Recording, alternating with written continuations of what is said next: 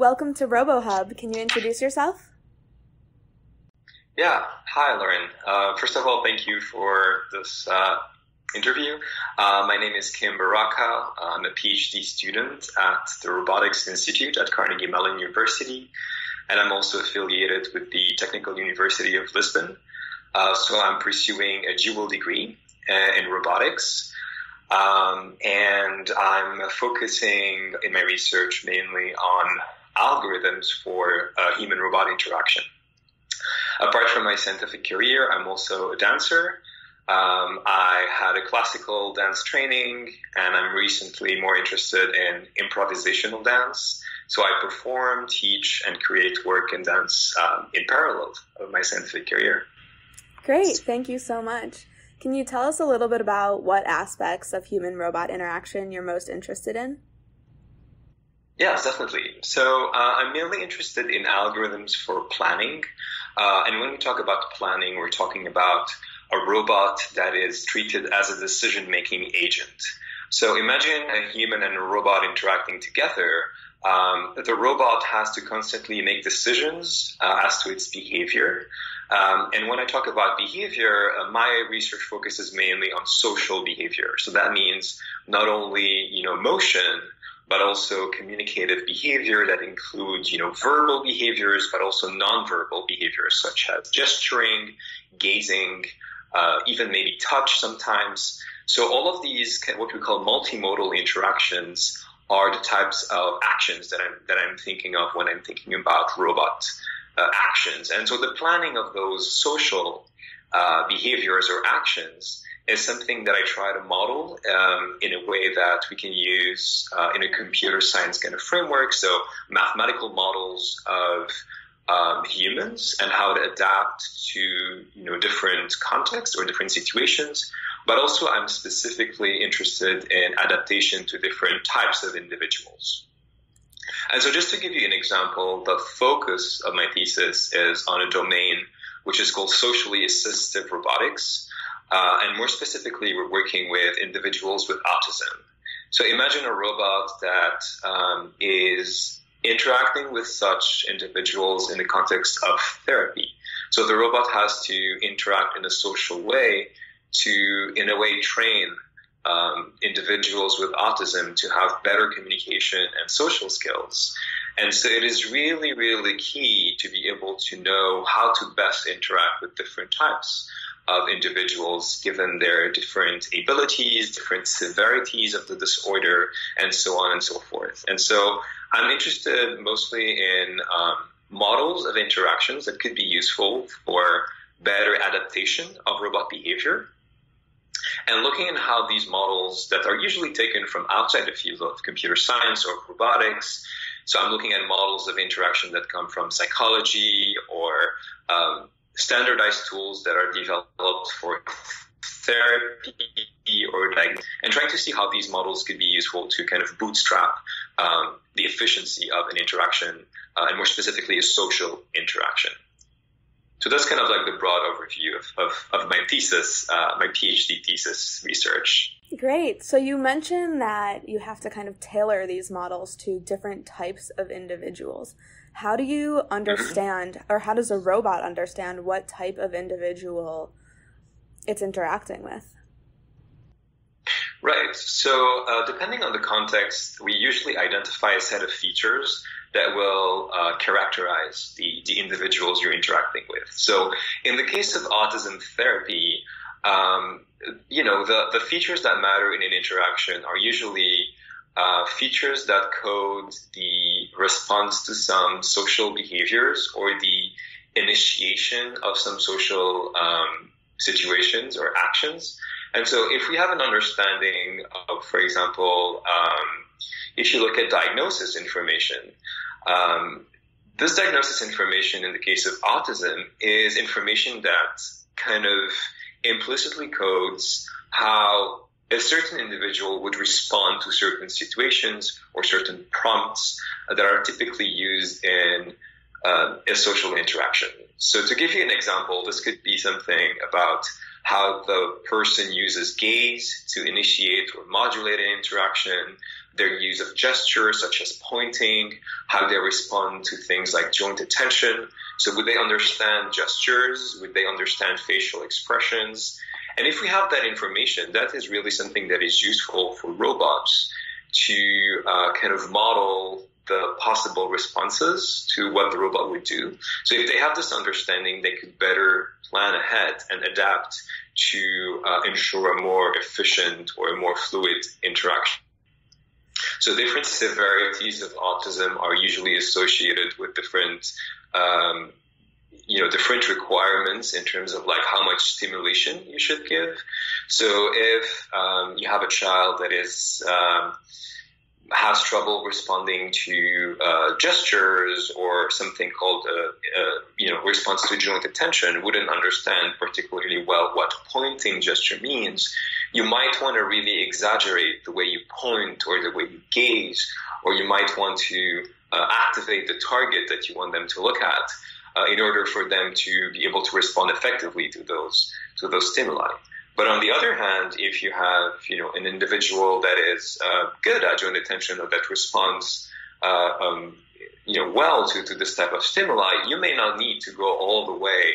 Uh, you might just need a gaze shift, um, and so the robot could save some energy, could could even challenge the child to to become better at, uh, um, you know, uh, detecting those those those uh, more subtle. Um, behaviors, um, and that's really useful in therapy because because we want to always find the balance between you know over um, being overly explicit in, in, in, the robot's actions versus uh, being too subtle and at the risk of not having you know a satisfactory response from the from the child's perspective because I'm working mainly with children. Of course. Um, yeah, so that's that's mainly that's mainly my response to, to your question. Great, and I would imagine that it takes some time for the robot to learn and understand these features about the human. Can you describe what the timeline looks like for how long the robot spends exploring the capabilities of the child versus when it decides how to employ certain techniques, or is this kind of a repeated measure that if you have an interaction, it's learning and then exploiting, learning and then exploiting, or is it completely separated into two separate phases? And how do you time this process? Right.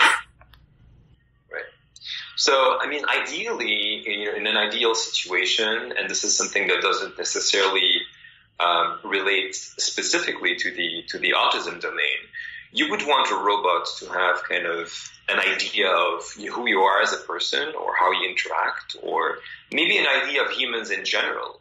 And then being able through interaction to kind of fine tune the way the robot interacts with you, right? So that's kind of like a general framework of having what we call a prior um, on your response to certain actions and then kind of collect data and kind of learn to fine tune the what we call the policy of the robot or how the robot behaves or makes decisions.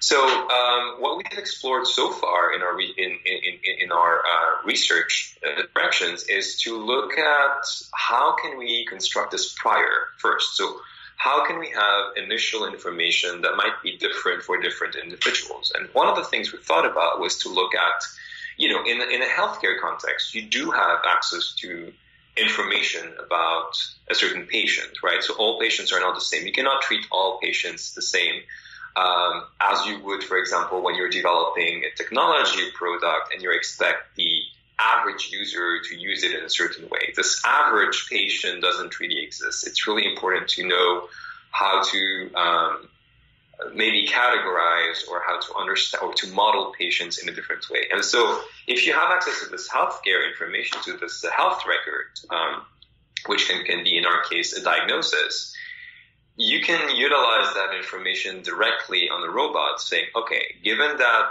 this is the type of uh, autism that this person has, or the, the, severity of the autism of that person, maybe this is how the robot should model the person, or this is how the robot should behave. Um, another another problem is that a lot of times, you know, the way that people respond to humans is not the same as they, the way they respond to they respond to robots. And so, what we need to understand is how this model can be so what I would call the human-human interaction data could transfer or could, could generalize to human-robot interaction.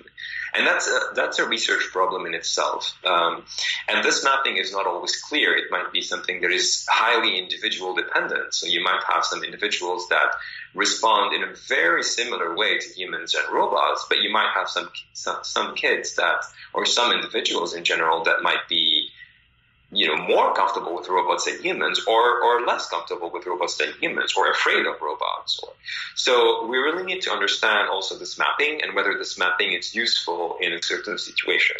So what we do uh, in the studies that we've done with kids is we always have the robot kind of reiterate um, typical tests that humans, like therapists, usually engage in and comparing this data. So trying to see, okay, can we use the data that we have uh, from a human interaction directly, or do we need to collect, or do we need to give more importance to the, ro- the data the robot collected?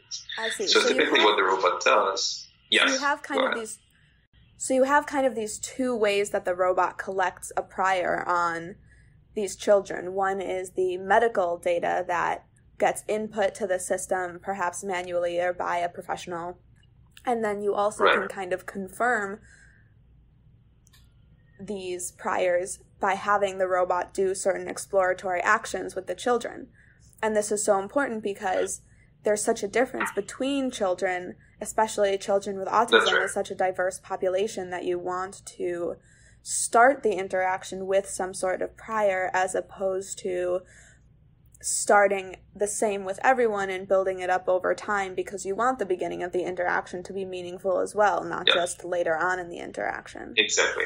Okay. Exactly. So, but actually, actually, it turns out, like based on the studies that we've run, that we cannot trust the human data as much because exactly of that problem that the way that especially children with autism, like younger children with autism, respond to robots um, can really differ from the human uh, response. So in a way, it is really needed for a robot to do an assessment before starting any kind of interaction.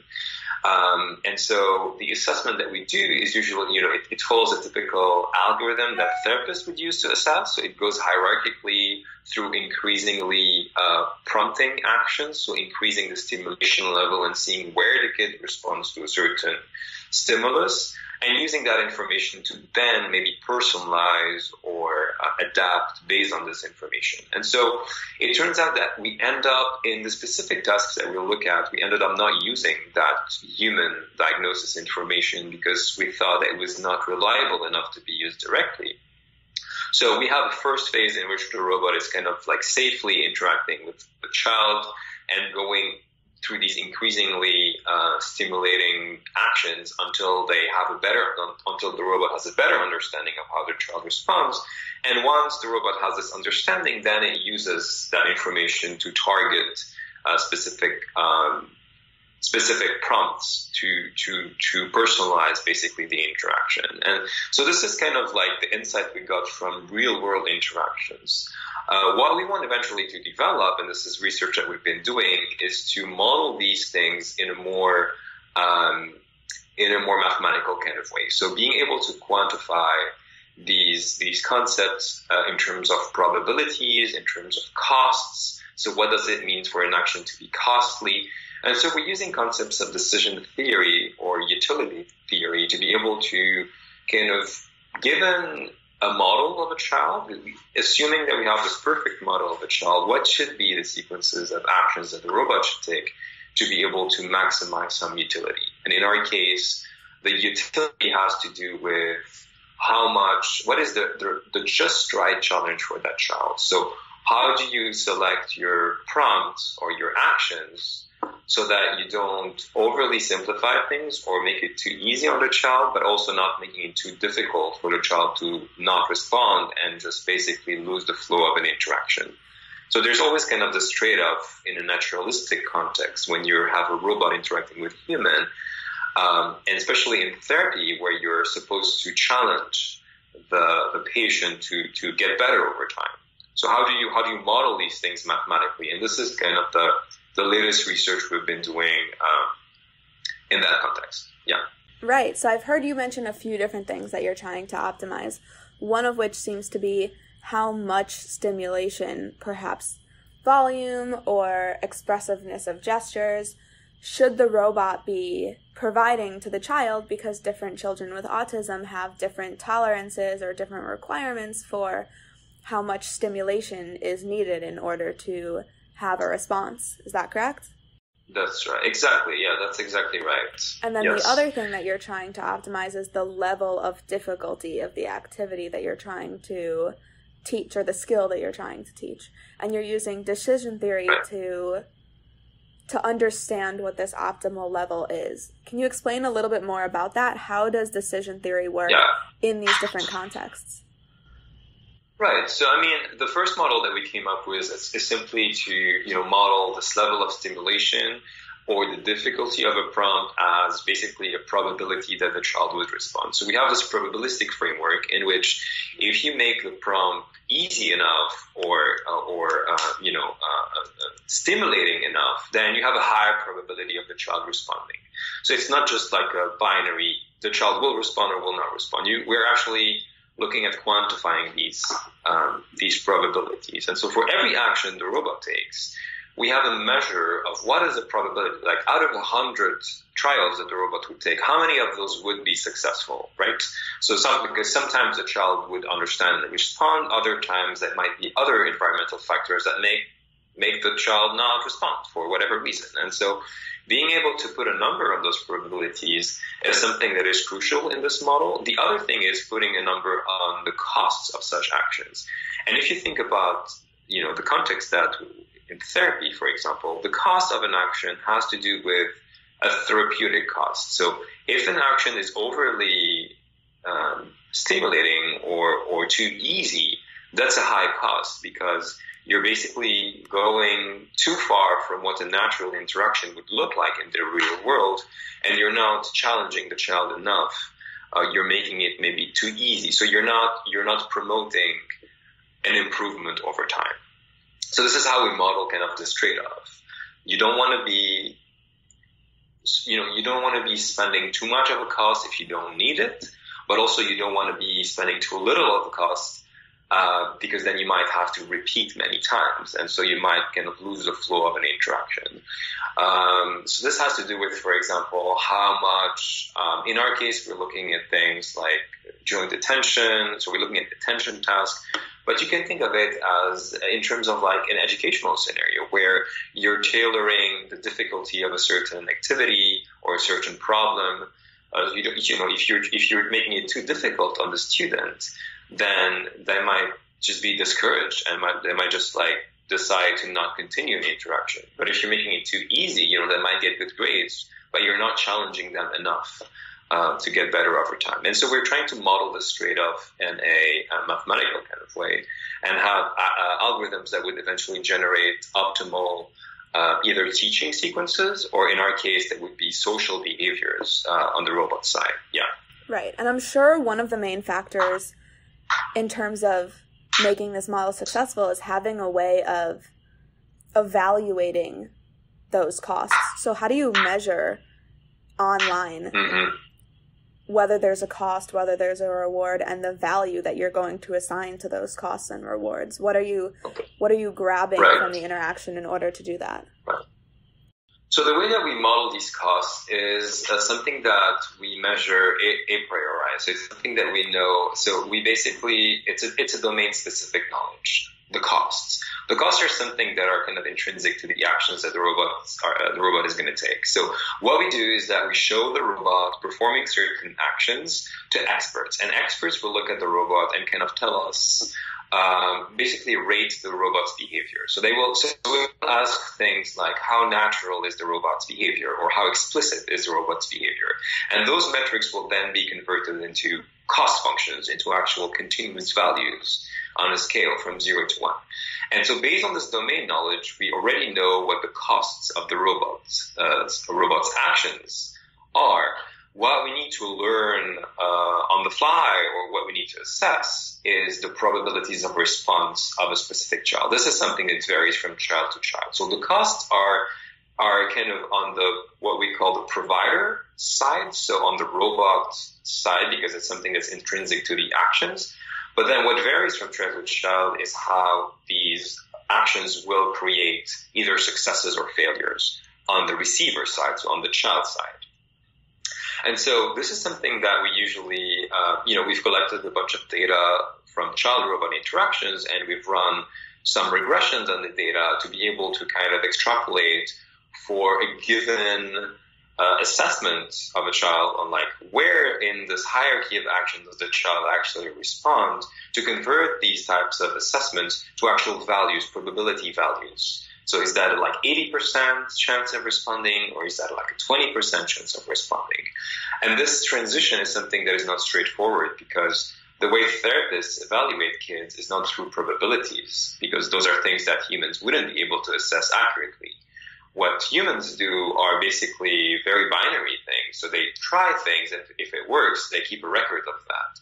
But then how do you go from that kind of framework to one where you actually quantify things and and then you know use these numbers to be able to then compute plans that are you know provably optimal for uh, a given model, assuming the model is correct, of course. Uh, sure. Another so completely different challenge is to actually make sure that this model stays the same over time. And this is a whole other type of uh, research on adaptation and online learning. But for now, we're trying to understand this kind of like first step of like, given a model, how do you deal with this model? Right. Yeah. What's the biggest challenge that you guys are facing? The biggest challenge is to actually make assumptions that are going to hold true in, in real world because you can, you know, you can work in simulation as long as you want. You can assume many things, um, not just because it's intuitive, but sometimes looking at literature uh, from other fields, you know, you might expect, you know, a child with autism spectrum disorder to to you know to uh, respond to a certain activity the same way a typically developing child would.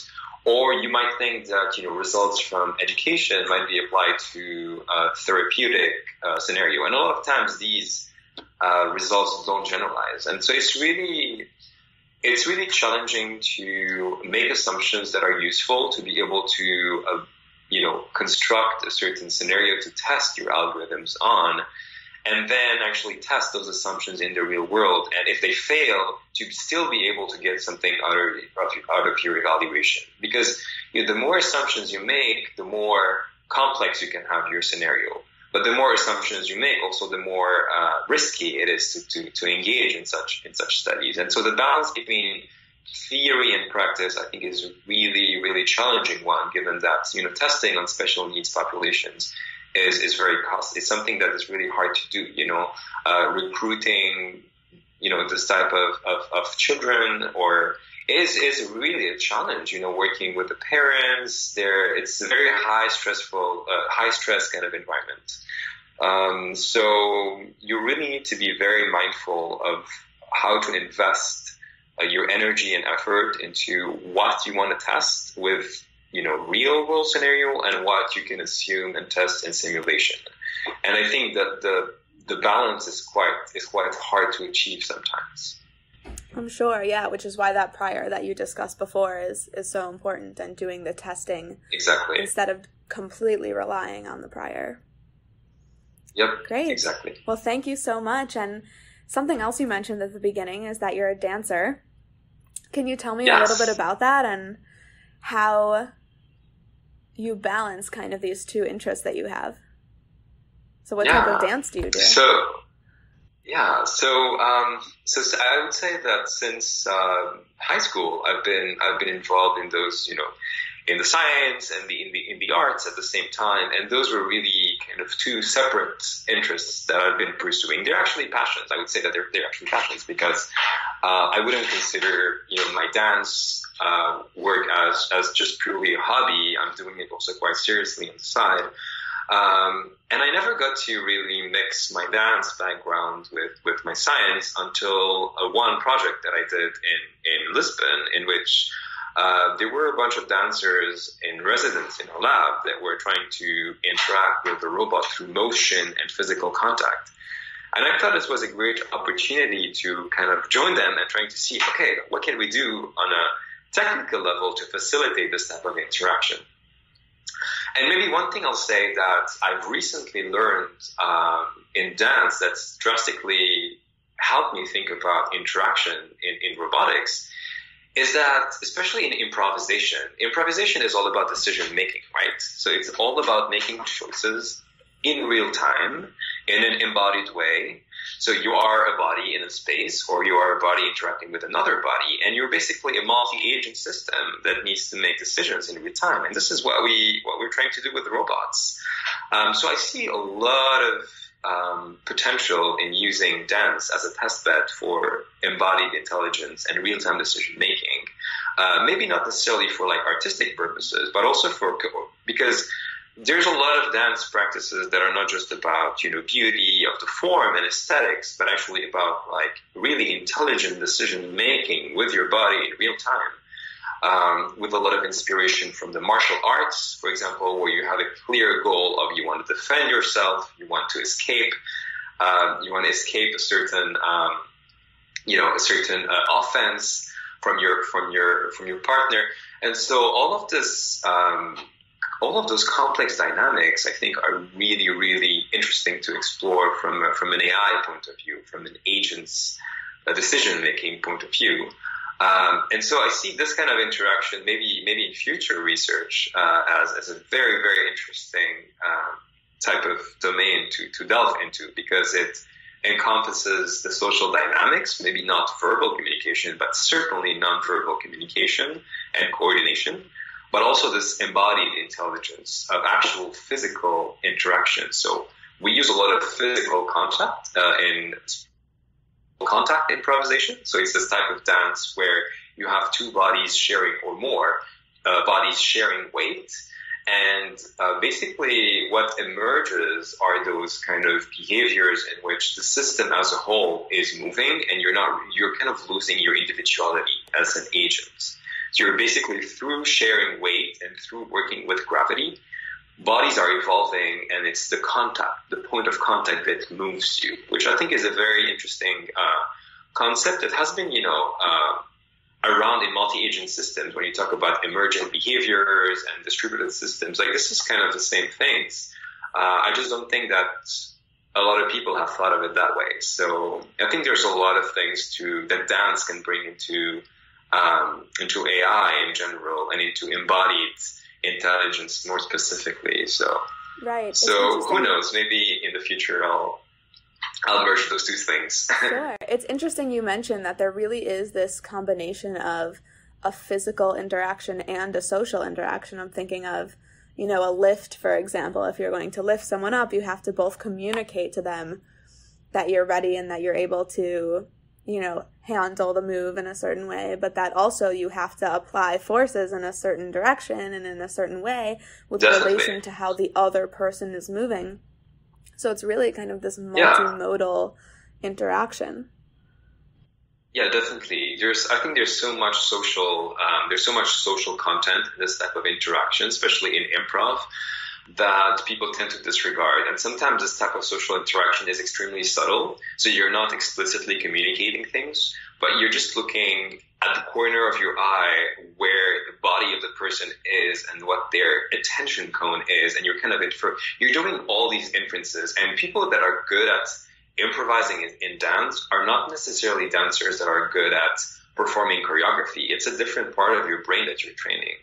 And so I think there's so much, so so many layers of intelligence in in this type of of, of, of dance improvisation that definitely um, is maybe more subtle social dynamics, but the social dynamics are definitely there, especially in regards to communication, coordination, and um, working with with different uh, social roles, even because you have you know uh, social structures that start forming. Um, the first one being leader follower uh, or no leader no follower just working as a team but also you know group dynamics and and all sorts of other then you can just escalate into all of the different layers of social interactions that humans have um, right. Which so are all issues that we're a lot to, to uncover there. Yeah. Right, which are also all issues that we're looking to explore in robotics as well. Definitely, yes. Can you speak a little bit personally now to since you know as a phd student many of us are, of course, struggling as to how to, or trying to figure out how to balance yes. interdisciplinary interests or interests in and out of the lab, whether they're robotics related or, you know, just personal hobbies. How do you balance these two Yeah. interests and passions that you have? Yeah, so I would say it's it's has been hard in the past to do that, especially when you you know you have a schedule of courses that is quite rigid. You know, as you evolve through your PhD, I think it's easier to manage your time the way you want. Things become more flexible. You know, you're able to. I am able to go, for example, every day for a training, whether it's in the morning or in the evening, and I kind of like shift my work hours around it. But I think it's a skill that I've kind of developed naturally in you know, through all these years of, of having to balance both. And I think as long as you you feel the need to, like for me, those two things are very complementary. Uh, having to, you know, work your brain, uh, you know, so many hours a day, but also having to to have something, you know, physical, but also something creative uh, that completes uh, or kind of complements the the other side is something that I've always uh, you know, seek. Like I always felt like if I'm only focusing on one of these things, I I feel incomplete in some way. And so, in a way, you find time for it because the the will is there. Uh, it doesn't feel like oh, I have to go to dance training now, or I have to fit it. Uh, so, or, or, oh, I have to go to the lab now. I'd rather dance all day. No, I'd rather maybe not dance, or maybe I'll dance all day today, but then I'll, I'll, I'll research all day tomorrow. Uh, but I think it's something that this duality uh, in my personality is something that kind of drives this naturally. Uh, but it definitely needs a lot of time management skills, and that I think is the is the key. Um, but I think as long as you are passionate about something, um, my advice is to not think that if you're doing a PhD or if you're going into uh, kind of like high stress kind of career uh, to say, oh, yeah, I'm going to sacrifice what I really like or my hobby. Um, if you really are passionate about something, that's going to help you in your in your other stuff, uh, definitely. So it's worth investing time in it. If it's something that drives you and motivates you, uh, you can always find time for it, definitely. Great. Well, thank you so much for joining us today, and we look Thank forward you. to seeing where your research on dance goes.